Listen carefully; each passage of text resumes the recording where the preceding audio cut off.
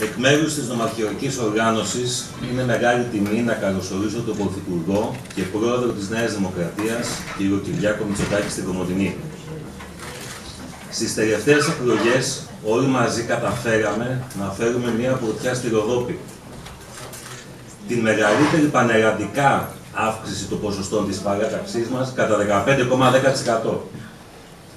Αυτό μας γεμίζει με ικανοποίηση και ταυτόχρονα με ευθύνες απέναντι στους πολίτες που μας τίμησαν με την ψήφο τους, αλλά και προς ολόκληρη την κοινωνία.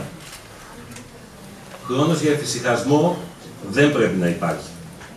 Με συνεργασία, σύμπνοια, στρατηγική και σχέδιο, θα πρέπει ο, ο εορτασμός των 100 ετών από την απελευθέρωση και ενσωμάτωση της Θράκης στον εθνικό κορμό να αποτελέσει ορόσημο για την αναπτυξιακή επανεκκίνηση και την ανάδειξη του ρόλου της περιοχής μας.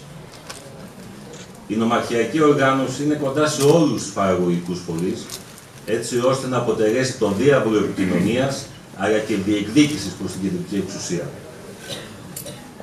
Κύριε Πρωθυπουργέ, κληθήκατε από τον ελληνικό λαό να αναλάβετε το τιμόνι της χώρας σε μια πολύ κρίσιμη περίοδο για την πατρίδα και ιδιαίτερα για τη Θράκη.